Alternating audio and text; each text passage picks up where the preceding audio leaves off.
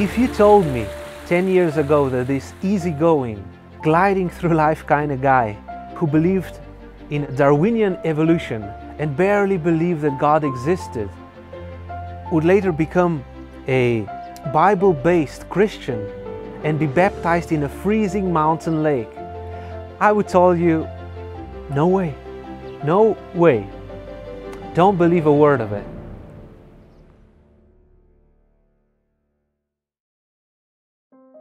My name is Maj Oblak. I was born into a Catholic family, albeit a nominal one. So I was baptized at the age of two. At the age of seven, I received my first communion after going to Sunday school for about a year. Uh, but since nobody encouraged me to go on from there, that's when my Catholicism stopped. I still grew up with uh, Catholic traditions though, such as crossing oneself before a meal, uh, not eating meat on Good Friday. I always believed there was someone above us, that this life was not all there was. Uh, but I didn't have any good reasons for believing that.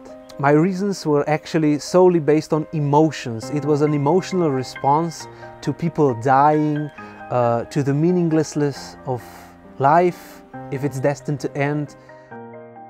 Going through school, we were taught that Darwinian evolution was the paradigm of life. But this drew me away from faith uh, because we were led to believe that everything, even our origins, can be explained without invoking God.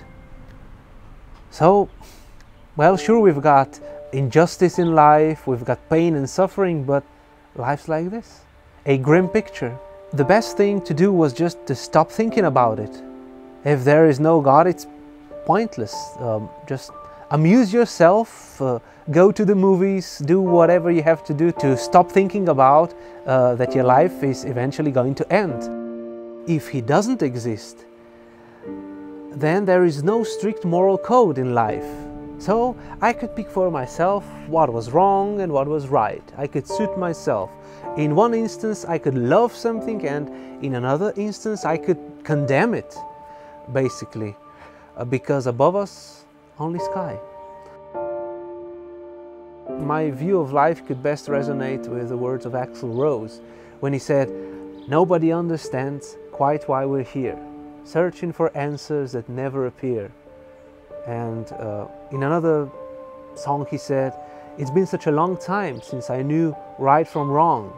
It's all the means to an end, I, I keep it moving along. Um, then there's the movie industry.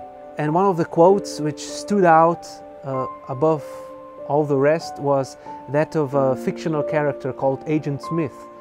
Uh, he would say, Your life has taught me the purpose of all life. The purpose of life is to end. Now, I never was a suicidal person, don't get me wrong, but what part of this statement could I disagree with?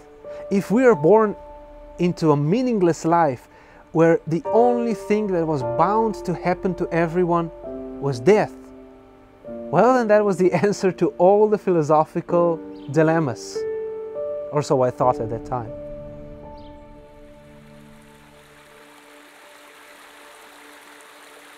Of all the subjects in school, I always preferred the uh, natural sciences over the humanities. We had a very interesting chemistry teacher who would engage us in logical thinking during his classes. So I kind of liked chemistry back then, so that's why I applied for pharmacy later on. When I was about halfway through the university, I had a, I had a chat with, uh, with one of my friends. He would give me a link to a lecture titled 100 Reasons Why Evolution Was Stupid. Uh, because we had an argument about whether evolution was right, whether it was scientific or not, and he would argue that it wasn't. And finally, he gave me this link by uh, a Baptist, Southern Baptist preacher. Uh, and when I read the title, I would, I would say to myself, what, what screwhead would be dumb enough to attack one of the most revered scientific theories? Uh, but okay. I always love me some challenge, so uh, let's hear it out. Well, turned out I was wrong. It, it wasn't crazy at all. It was eye opening. So, for the next year or so, I would, um, I would listen to both sides of this debate, of the controversy. Um, I would read countless articles. I would listen to, um, to scientists, to philosophers, uh, to philosophers of science.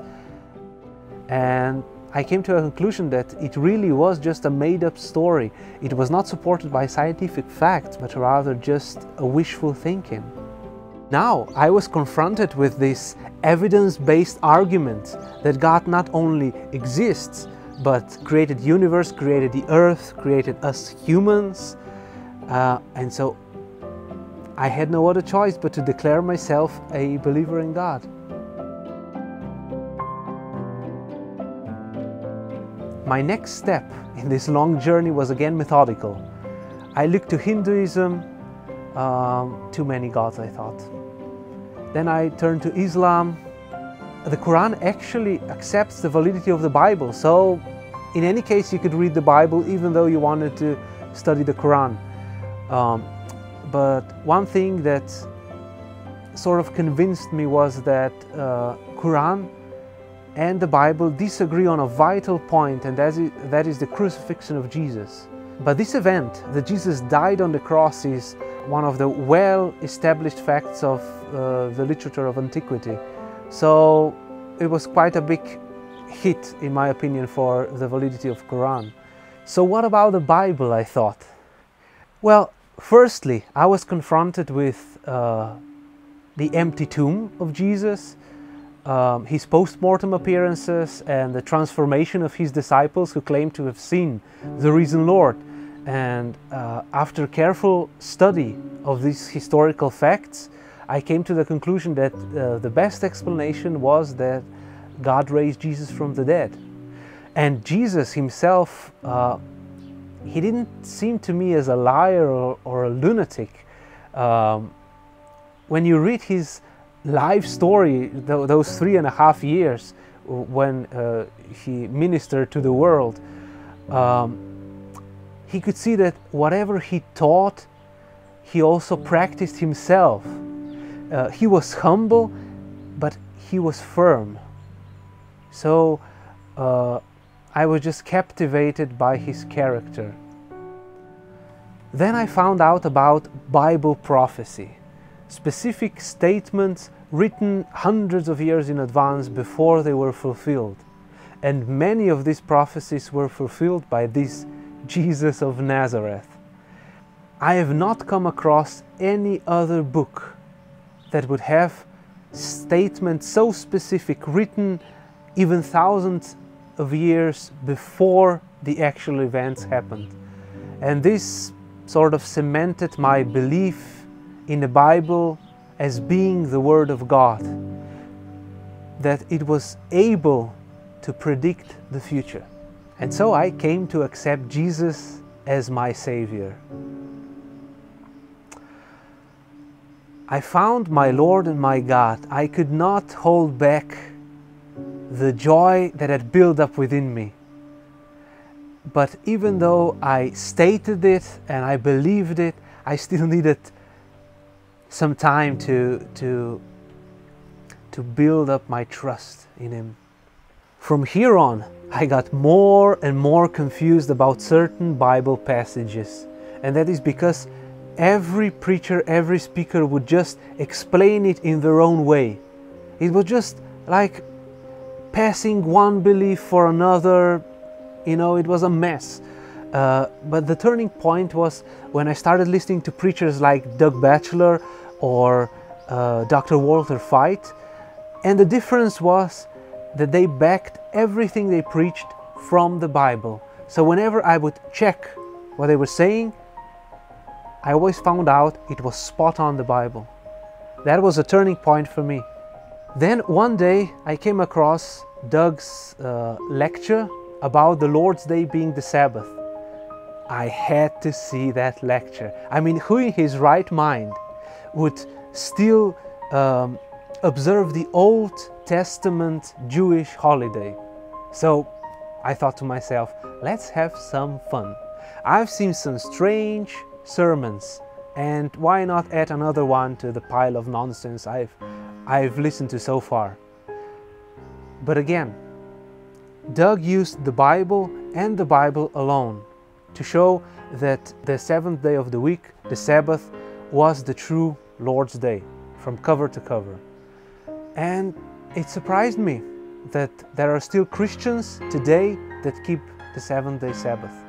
That got me thinking if Saturday is the Lord's Day, then, uh, then only the Sabbath keepers keep all the Ten Commandments of God because the, the fourth commandment says to keep holy the Sabbath day, which is the seventh day of the week, that is Saturday. Uh, so I, I wanted to know what church Doug Batchelor belonged to. And it turned out he was a Seventh day Adventist. Now, I've heard this name before being slandered by other preachers. So it was high time I discovered whether these slanders had any merit or not. One day I googled Adventisti Sedmegadne, just literally like that, which translated means Seventh day Adventists. And to my surprise, I found out that there were Adventists in Slovenia. Uh, and there was actually a church in Ljubljana. So on March the 24th, 2012, I walked into an Adventist church for my first time. I was eager to see what their Mass was like. So you can probably tell that it was my first time ever in a Protestant church. I loved the program. Uh, the people were normal. Uh, they kept asking me, they were surprised uh, to see me, they kept asking me uh, who it was that brought me into the church. And I told them it was my research, it was the whole process. So from that point on, I attended the Sabbath service every Sabbath and I studied the Bible and I grew in the knowledge of uh, biblical truths. So, half a year later, on the 27th of September 2012, I was ready for a proper baptism this time.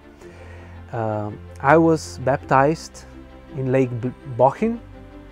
Uh, it had 13.5 degrees Celsius, which is about 56 degrees Fahrenheit in September of that year.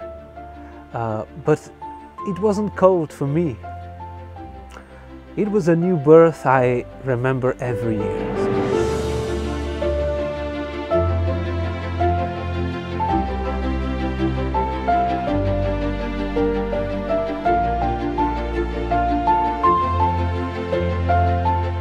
After becoming Christian, I realized there was much more in life than earning an education, having a good time, um, having a good job.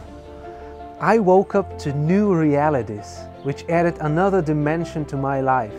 It made it richer, it made it more satisfying intellectually. With God, my life has meaning. With God, every human being has value. Today, my aspiration is to help other people experience what I have experienced, to gain a worldview that makes sense, not just uh, for the heart, not just for the mind, but also for the body and for the soul. I have much to learn still, and I have much to discover by continuing in my studies of the Bible. I have not yet arrived. My journey goes on, but when I look back, I'm amazed at all the transformations that have happened in my life and at the providences that have brought me this far.